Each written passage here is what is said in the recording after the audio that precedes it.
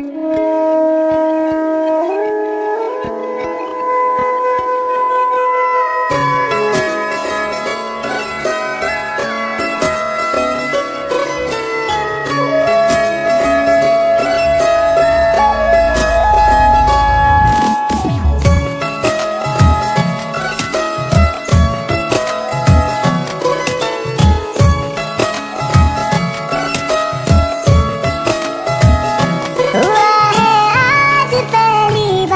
जो ऐसे मुस्कुराया हूँ तुम्हें देखा तो जाना ये कि क्यों दुनिया